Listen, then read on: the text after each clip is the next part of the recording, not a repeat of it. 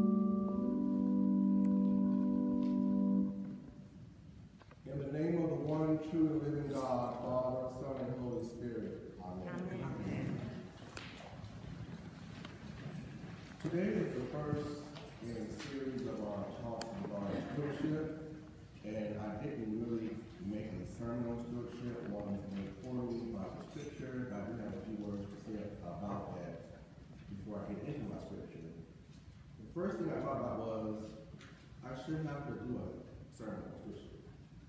That's something that we know about every year. We all know what stewardship is. We also know what stewardship takes care of. And I couldn't help but think about when I was a child, I've told this story to a uh, few of you. Churches all around us used to have bake sales and cookie sales and Girl Scout sales and little kids wearing the glass box collecting money in the buckets. And I asked my grandmother, why did we do that? And she said, when you are doing what you're supposed to do, you don't have to do those things. So we never had bake sales, cookie sales, whatever kind of sales there were, car washes, we never had to do that. We never had stewardship sermons at our church.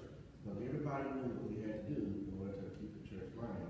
And it was a passion and love and not one to be grudging. Stewardship is not just about paying the church bills, it's a lot more than that. And if we wonder why our kids are not uh, because we're probably not giving ourselves, we're not teaching art stewardship to our children. And the church is not going to function and cannot function much longer if we do not continue to take the seriousness of stewardship. Uh, the church's lights do not stay on by themselves. Your priest is not paid by, by, by uh, magic. Your building, all the work that's been done in the last 18 months did not happen by magic. It takes commitment from each one of you call yourselves members of this church to have support this church. So don't think of it as, oh, I'm giving money to pay bills. It should be a lot deeper spiritual connection than that. And stewardship is, as I said, is more than just money. It's about spirituality, how you live your life, how you teach that to other people. So I'm not going to stand here today and go through my list of how stewardship has affected me. We already know that. So I'm going to use Job today as, as an example of someone who's a faithful servant, which is one of the things you need in order, I think, to really understood, understand stewardship. There's a verse in, in an old song that used to say, Job waited on the Lord, why can't I? If you would have told me that I would be preaching on Job today, I would have said, I think not. But upon second look, Job and his situation in today's Old Testament lesson gives us a good component that is much uh, that is a much needed caveat for Scripture. Faith.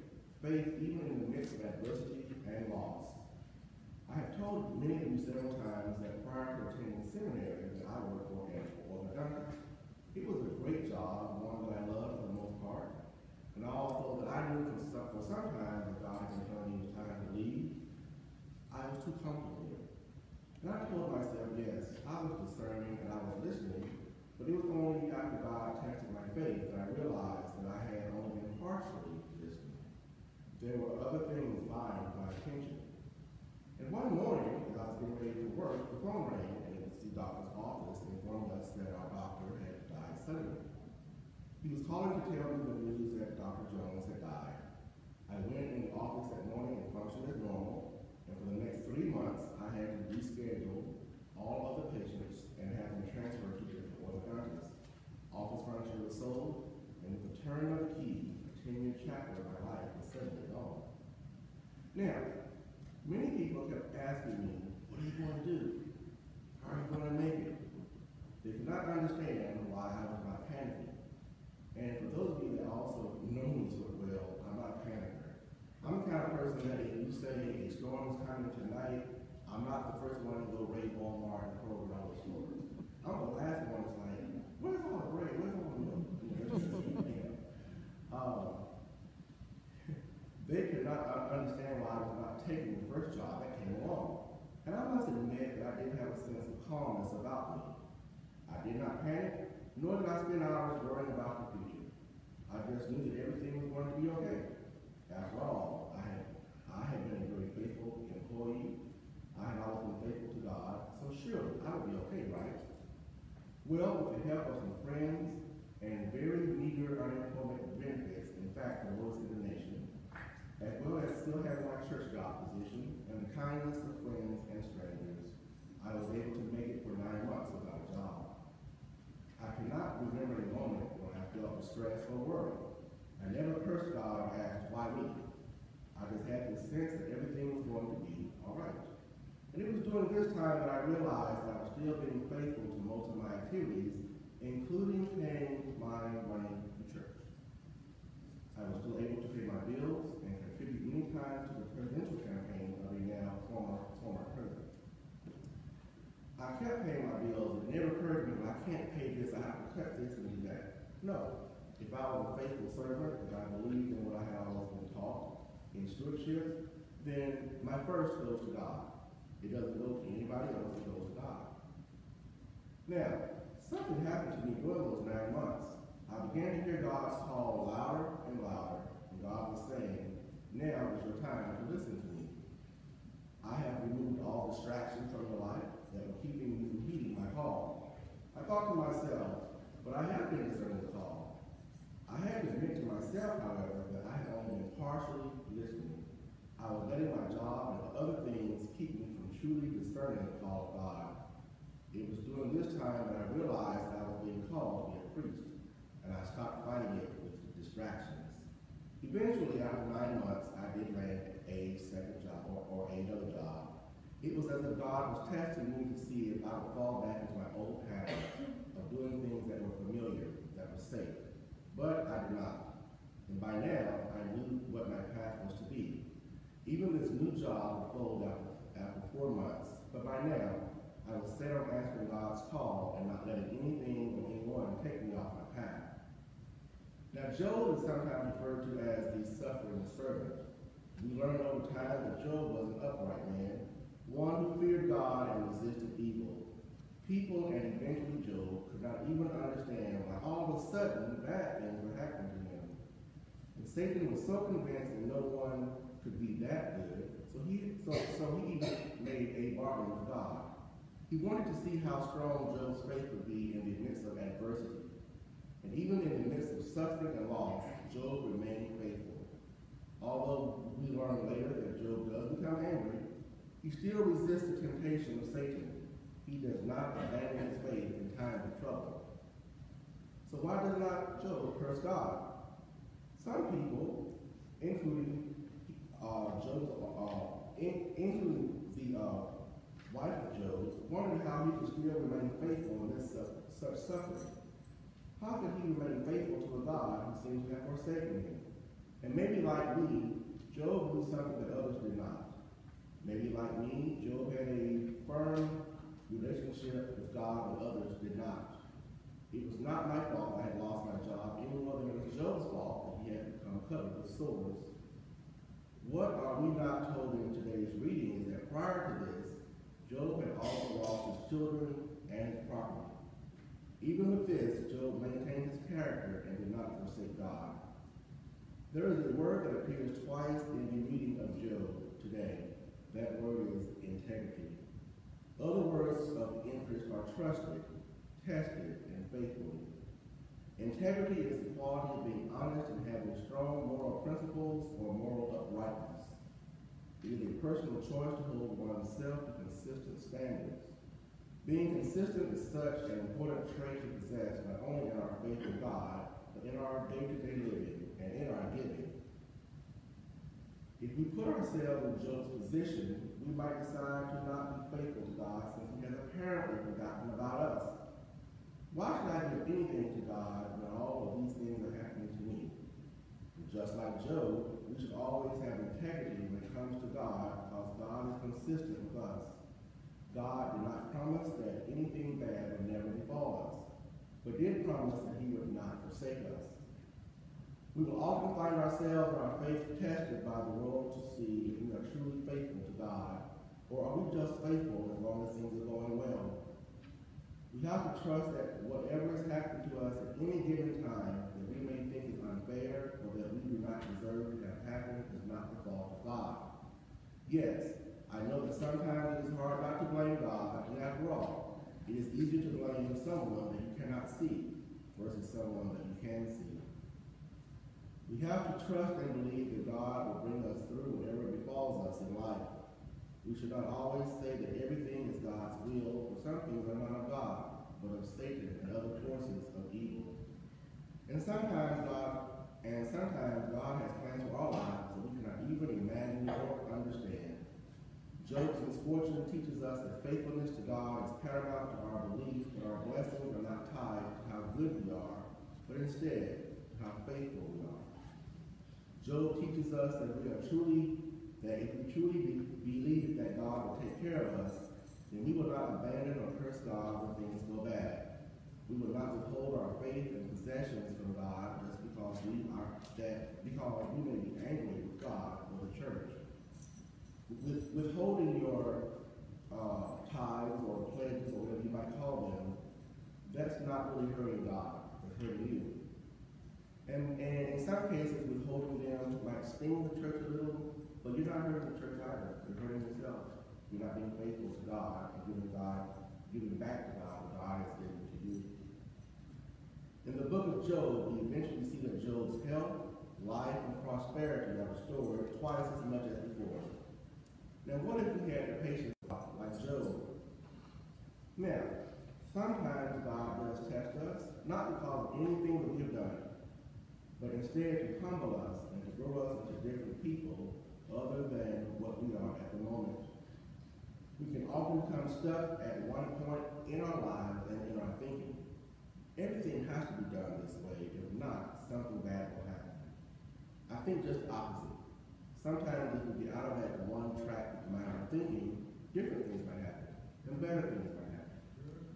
What if God took away all that you have at this very moment? Think about that again. What if God took away all that you have at this very moment? What would you do? Would you crumble and say, oh Lord, I can't make it? Or would you be resilient and try to find somewhere else to make it? Would you blame God for that misfortune?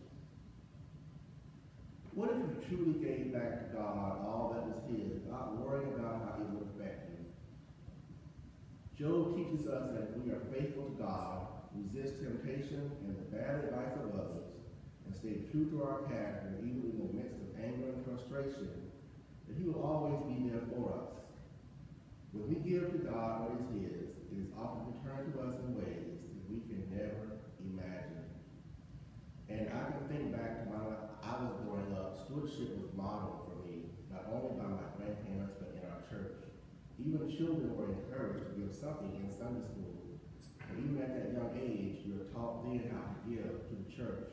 It is not something foreign, it's something that you want to do. And a few weeks ago, well, I'm sorry, a few years ago, I was at a new clergy meeting, and the topic was stewardship and faithfulness to God. We were asked, when did we first learn or become aware that stewardship was an important part of our lives? Among the two, among the group, two of us responded that it was something that had always been with us. I said that it was something that was not talked about, but done.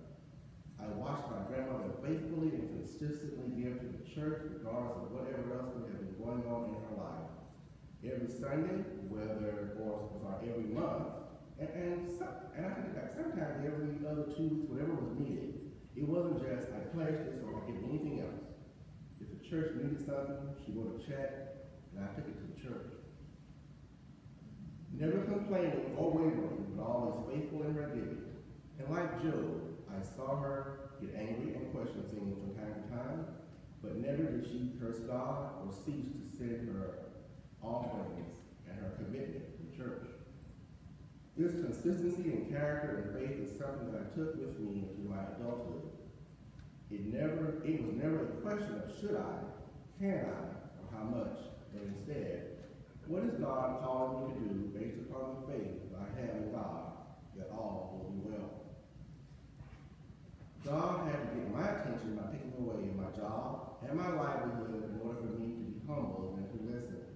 But even in the midst of this, that training that I had received as a child made me remain faithful, never wanting to leave God or withhold from him what was his. I remained consistent in my church, work, and giving, and did not let others lead me astray doing that which I knew God required of me. Won't you do the same for God in this coming year? In a few weeks, you will be privy to what the, the projected next budget is going to be.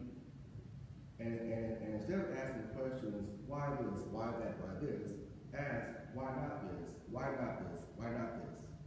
You're sitting in a beautiful building that will not be here if we don't take stewardship seriously. That's why you're not going to hear me hammering me down about stewardship week after week after week. Everyone knows what they need to do.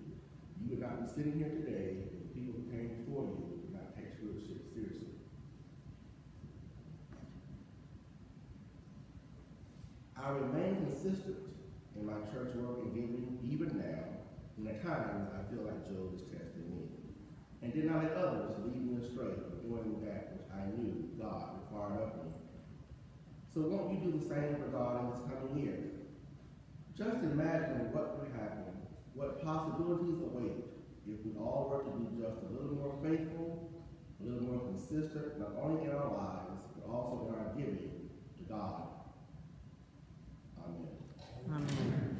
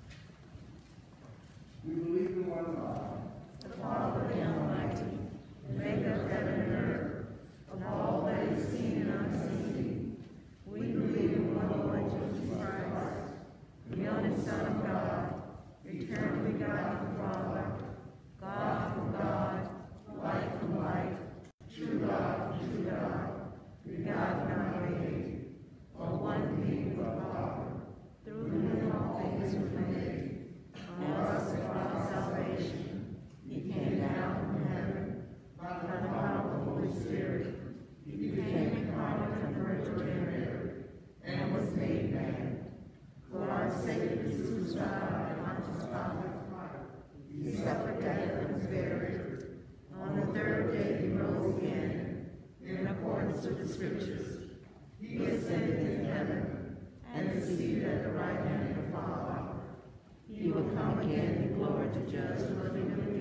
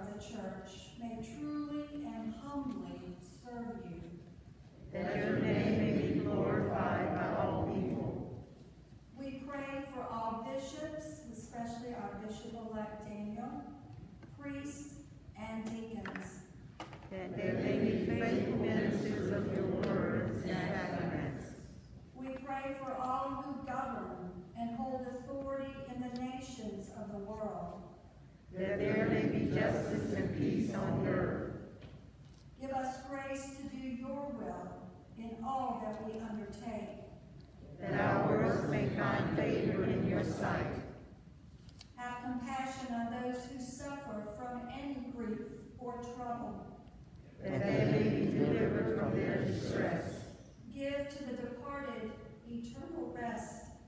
Let the light perpetual shine upon them we praise you for your saints who have entered into joy. May we also come to share in the heavenly kingdom. Let us pray for our own needs and those of others, especially Charles, Charles, Gary, John, Damien, Eddie, Regina, Levi, Carmen, Mildred, Cherish, Reginald, Charles, Geneva, Peyton, Gloria, Calvin. Are there others?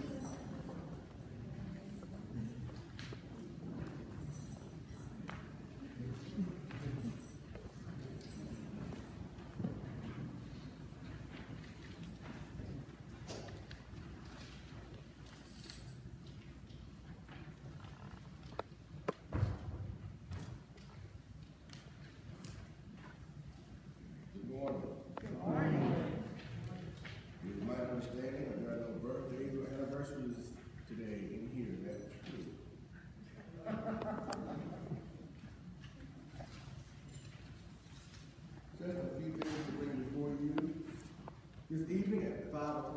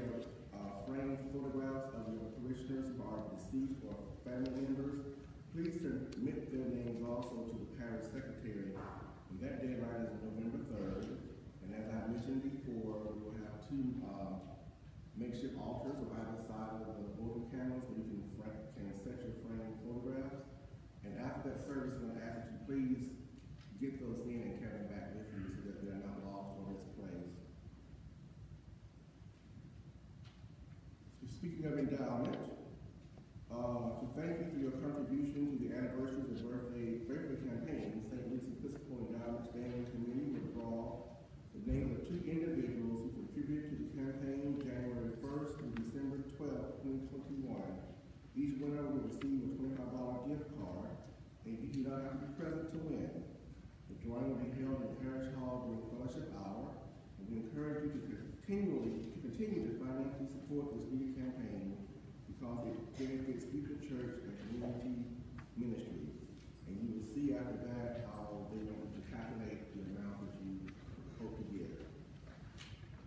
I mentioned before, this week kicks off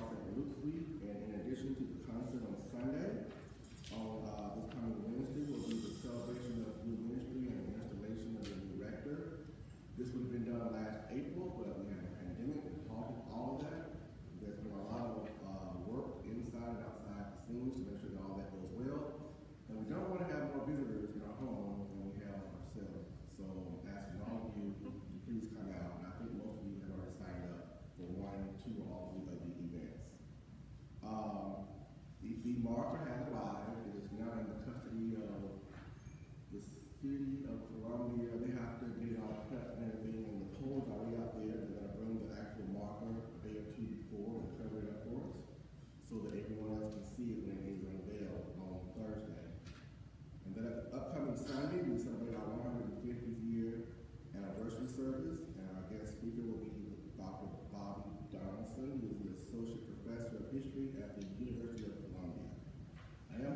heard that uh, uh, uh, uh had a very positive response, and I don't know what the last count is, but when I counted in, over 130 people would sign up to come to the uh, ministry and the church anniversary service.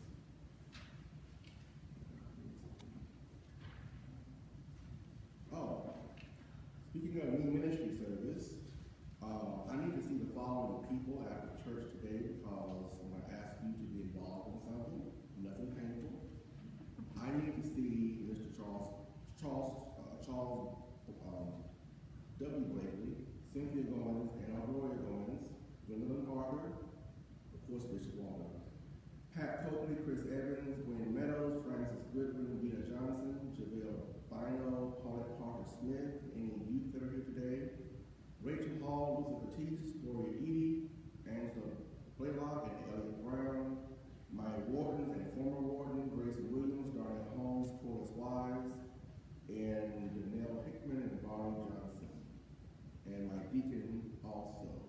all meals.